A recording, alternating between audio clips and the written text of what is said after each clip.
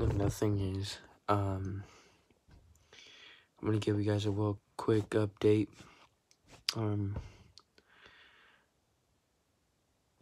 the last few, um,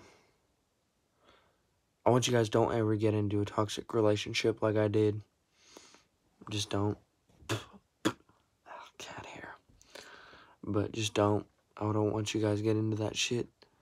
So, um, don't go back with your exes. That's just the wrong thing to do. Wrong thing. Um, am I am I still recovering from what happened? Yes, I am. Now, some of y'all would be like, "Why are you gonna move to Oklahoma?"